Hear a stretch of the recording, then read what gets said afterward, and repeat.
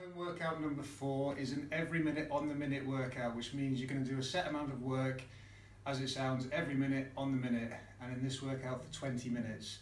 Okay, so you're going to start a stopwatch. On minute one, you're going to do five bodyweight squats, 10 mountain climbers, and five press ups. Rest for the remainder of the minute. When the clock, when the stopwatch hits two minutes, you're going to go again, then rest for the remainder of the minute. Keep going for a total of 20 minutes. Okay, give it a go.